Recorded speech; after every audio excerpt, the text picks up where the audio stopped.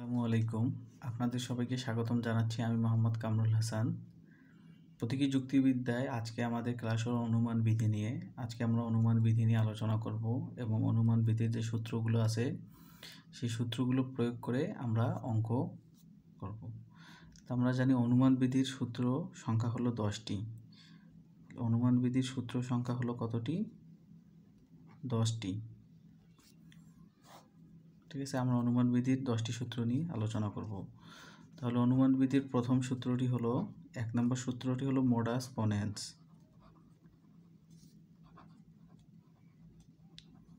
যাকে সংক্ষিপ্ত রূপ হলো, যার সংক্ষিপ্ত রূপ হলো এম পি ঠিক আছে মোডার্স পনেন্স প্রথম সূত্র। সূত্রটি কি? সূত্রটি হলো পি ইমপ্লাইজ কিউ পি অতএব কিউ তাহলে অনুমান বিধির প্রথম সূত্রটি হলো মোডাস পনেন্স যার সংক্ষিপ্ত রূপ হলো এমপি এবং এই সূত্রটি হলো পি ইমপ্লাইজ কিউ পি অতএব কিউ দ্বিতীয় সূত্রটির নাম হলো modus Tollens.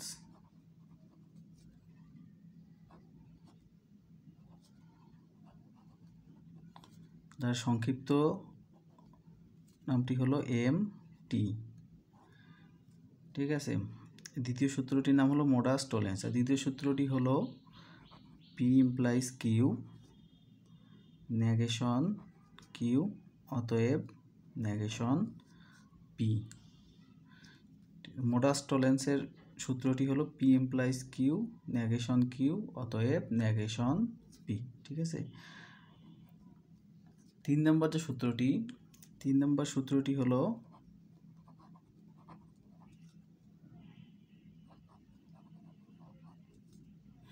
Hypothetical সাইলোজিসাম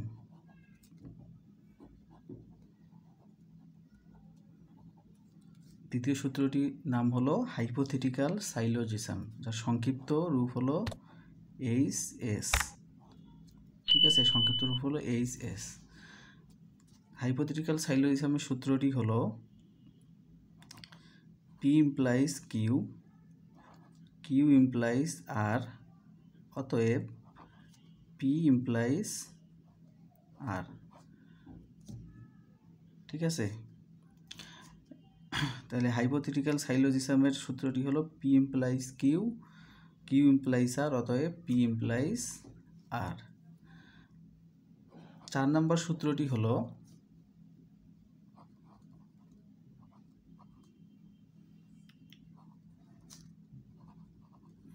disjunctive syllogism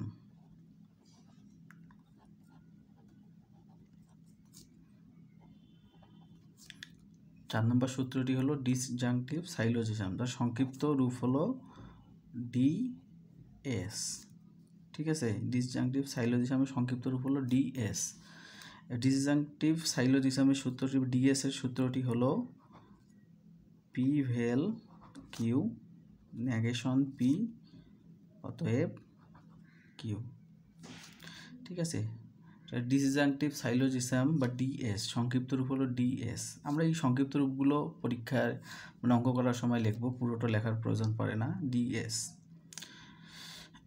disjunctive syllogism DS এর সূত্রটি হলো P vel Q negation P অতএব কিউ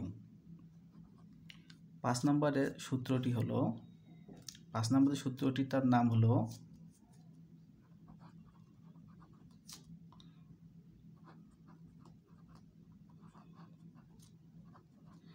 কনস্ট্রাকটিভ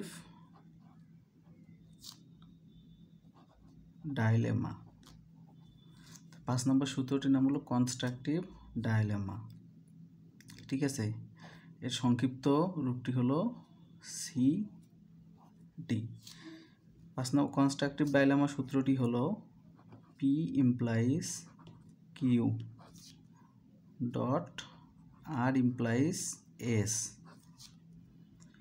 তাহলে পি ভেল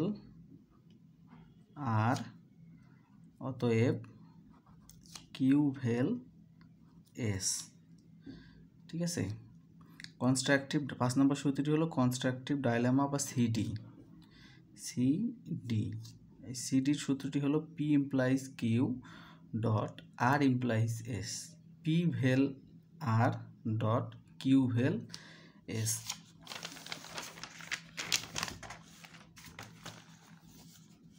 আছে? তারপরে ছয় নম্বর যে সূত্রটি, ছয় নম্বর সূত্রটির নাম হলো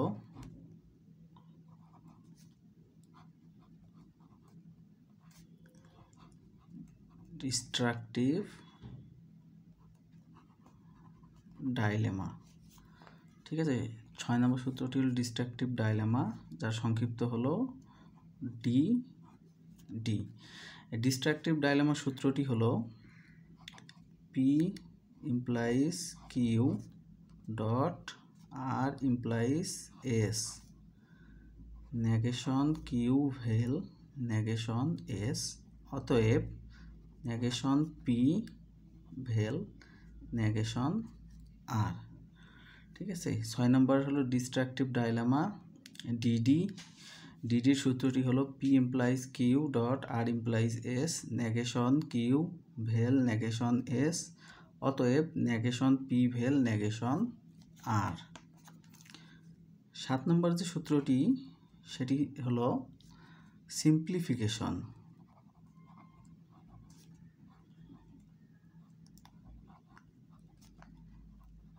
যার সংক্ষিপ্ত সংক্ষিপ্ত রূপ হলো সিম্প সংক্ষিপ্ত রূপ হলো সিম্প সাত নম্বর সূত্রটি কি?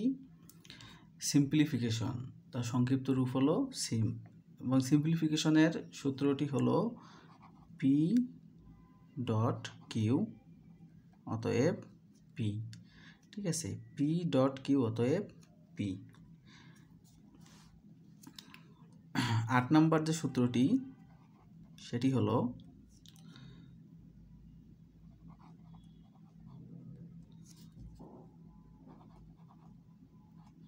কনজাংশন যার সংক্ষিপ্ত রূপ হলো কনস। আট নাম্বার হলো কনজাংশন যার সংক্ষিপ্ত রূপ হলো কনস। কনজাংশনের সূত্রটি হলো পি কিউ অতএব পি ডট কিউ। ঠিক আছে? কনজাংশন বা কনস এর সূত্রটি হলো পি কিউ অতএব পি ডট কিউ। কনজাংশনের পর নয় নম্বর যে সূত্রটি, সেটি হলো এডিশন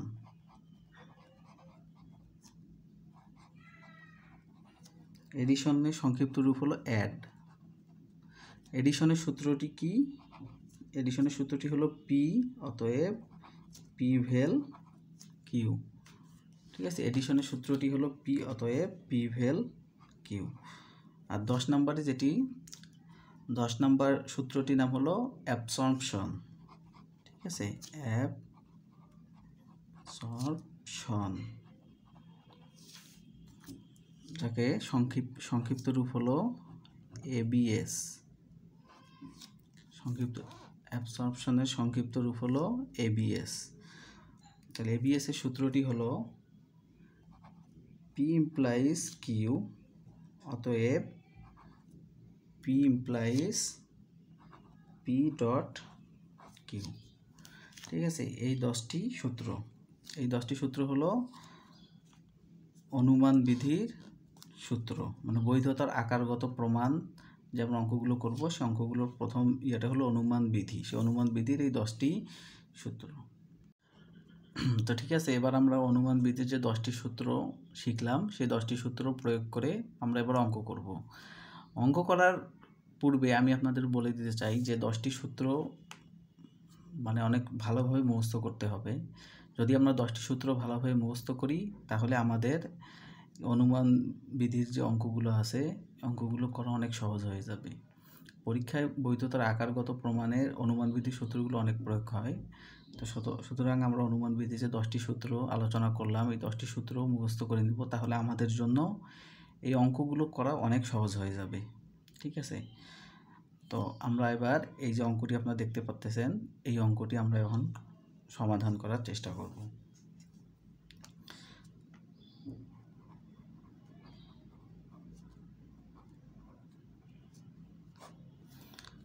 ঠিক আছে?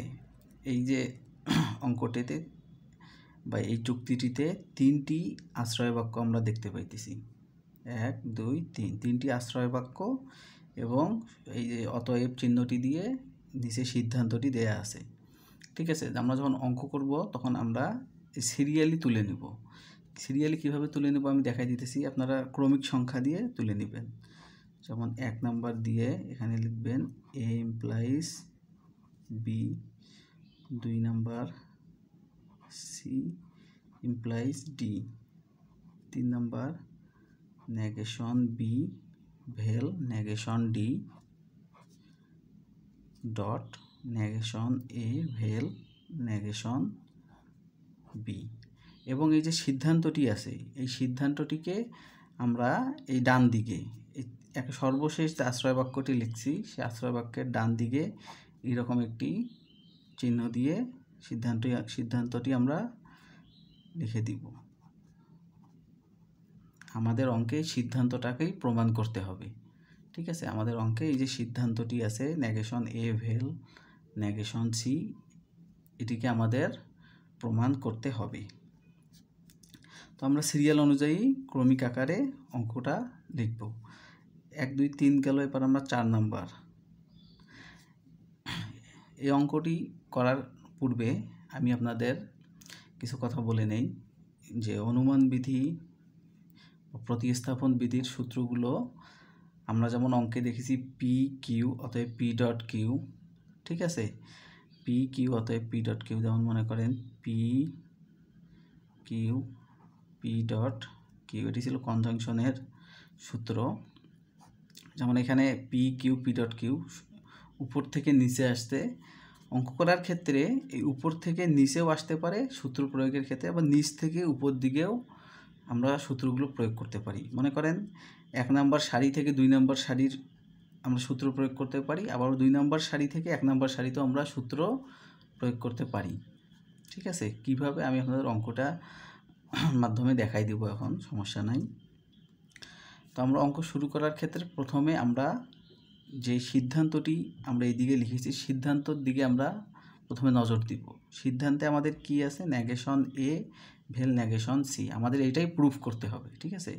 তো ন্যাগেশন এ এবং ন্যাগেশন সি কোথায় আছে? আমাদের প্রথমে সেখানে লক্ষ্য দিতে হবে। ন্যাগেশন এ কোথায় আছে? আমাদের এই তিনটি আশ্রয় বাক্যের মধ্যে ন্যাগেশন এ আছে এখানে, ঠিক আছে? ন্যাগেশন এ আছে এখানে। ন্যাগেশন সি কোথাও আছে? ন্যাগেশন সি এখানে নাই, ঠিক আছে? তো নেগেশন এ এখানে আছে। যেহেতু নেগেশন এ এখানে আছে, আমরা প্রথমে এই আশ্রয় বাক্যটিতে সূত্র প্রয়োগ করার চেষ্টা করব। তো আমরা দেখি এখানে কোনো সূত্র প্রয়োগ করা যায় কি না। ধরে নেই আমরা এটাকে ধরে নিই নেগেশন বিকে ধরে নেই P P vel Q dot. না, এখানে এভাবে কোনো সূত্র প্রয়োগ করা যায় না। তারপরে আমরা যদি পুরোটাকেই পি ধরে নেই মানে পুরোটাকেই পি ধরে নিলাম এবং এই পুরোটাকেই কিউ ধরে নিলাম। ঠিক আছে? তাহলে পি ডট কিউ আমরা সিম্পলিফিকেশনের সূত্রে পড়েছিলাম পি ডট কিউ অতএব পি হয়। তো পি ডট কিউ অতএব আমরা এখানে, এই পুরোটাকে যেহেতু পি ধরেছি, আমরা এখানে পুরোটাই লিখে দিব। বি ভেল নেগেশন ডি এবং এদিকে একটা রেখা টেনে আমরা কয় নম্বর সারির কাজ করলাম? তিন নম্বর।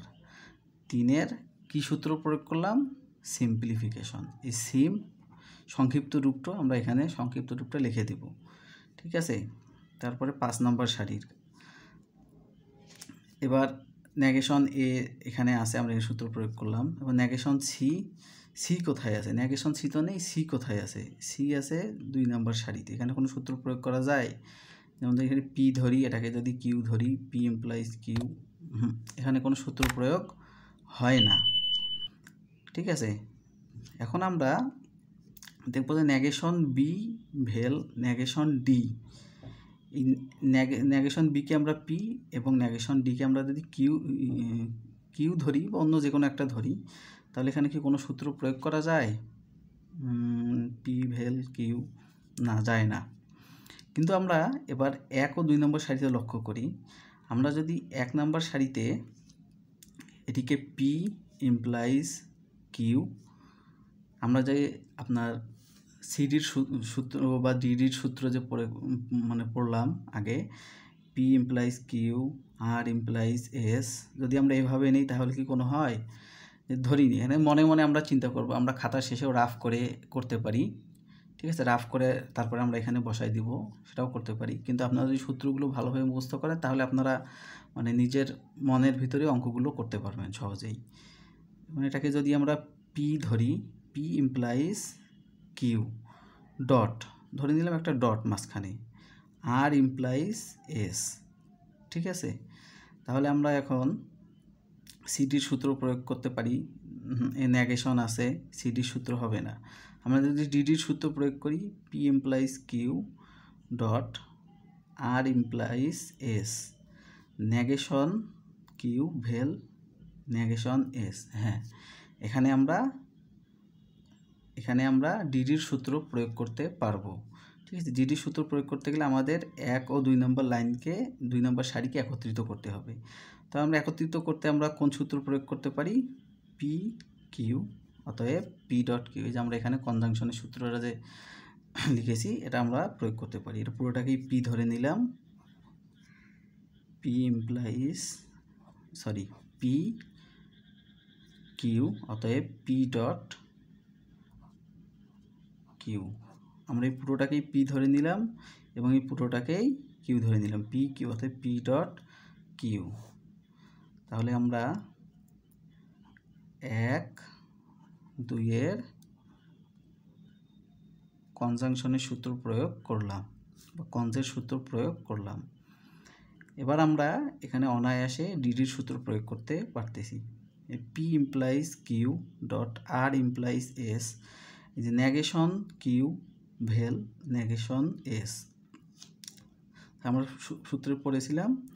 তাহলে সুতরাং নেগেশন এখানে আমরা একে পি ধরে নিছি। নেগেশন পি ভেল এবং সিকে আমরা মনে মনে আর ধরে নিছি। নেগেশন আর তাহলে আমরা এখানে দেখি P implies Q dot R implies S negation Q vel negation S সুতরাং, অতএব negation P vel negation R ঠিক আছে? আমরা এই যে আমি বললাম অঙ্ক করার শুরুতে যে আমরা নিচ থেকে উপর দিকেও সূত্র প্রয়োগ করতে পারি, আবার উপর থেকে নিচ দিকেও আমরা সূত্র প্রয়োগ করতে পারি। যেমন আমরা এখানে নিচ পাঁচ নাম্বার সারি থেকে চার নাম্বার সারি এভাবে সূত্র প্রয়োগ করলাম, আমরা এভাবে সূত্র প্রয়োগ করতে পারব। আবার উপর থেকে নিচ, এক নাম্বার থেকে দুই নাম্বার এভাবে আমরা সূত্র প্রয়োগ করতে পারব।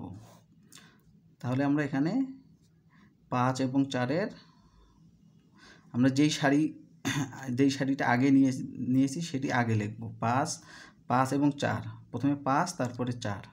এভাবে লিখব। পাঁচ আর চারের আমরা কী সূত্র প্রয়োগ করেছি ডিডি। তা আমাদের এবার আমরা যে সিদ্ধান্তের সাথে কি আমাদের মিলে গেছে? সিদ্ধান্তের সাথে আমাদের মিলে গেছে। আমাদের সিদ্ধান্তটি আমরা এখানে বাহির করেছি। তো আমরা এখানে প্রুফড বা প্রমাণিত লিখে দিব। ঠিক আছে? এভাবে করলে আমরা এই অঙ্কগুলো অতি সহজেই করতে পারব। তো আমরা এই অঙ্কগুলো, সূত্রগুলো যে দশটি আমি আলোচনা করলাম, দশটি আমরা সূত্রগুলো আমরা অনেক ভালোভাবে মুখস্থ করে নিব এবং আমি আপনাদের কিছু বাড়ির কাজ দিয়ে দিব শেষে, ভিডিওর শেষে। আপনারা সেগুলো প্র্যাকটিস করবেন বাড়িতে। ঠিক আছে? তো আজকের ক্লাস এখানেই শেষ করতেছি। যদি আপনাদের কোনো প্রশ্ন থাকে, কমেন্টে করতে পারেন। এবং আমার চ্যানেলটিকে সাবস্ক্রাইব করতে পারেন। যদি ভিডিওটি ভালো লাগে, লাইক করতে পারেন, বন্ধুদের সাথে শেয়ার করতে পারেন। এবং মানে এই অনুমান বিধি এবং প্রতিস্থাপন বিধির অঙ্কগুলো আসলে একটি মানে একটি অঙ্ক করে আপনারা বুঝতে পারবেন না। তো ভিডিওটি অনেক লম্বা হয়ে যাবে যদি আমি কয়েকটি অঙ্ক করতে যাই। যদি আমি তিনটি তিন থেকে চারটি অঙ্ক করি, তাহলে ভিডিওটি অনেক বড় হয়ে যাবে। তা আপনারা যদি এরকম অঙ্ক আরও আপনারা এরকম অঙ্কের ভিডিও যদি পেতে চান, তাহলে অবশ্যই কমেন্ট করে জানাবেন। তাহলে আজকের মতো এখানেই বিদায় নিতেছি। ঠিক আছে, আসসালামু আলাইকুম।